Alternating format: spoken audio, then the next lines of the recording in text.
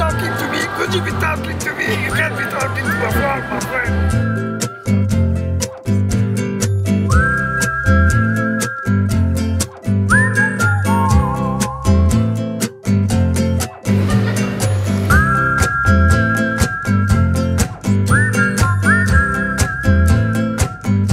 much.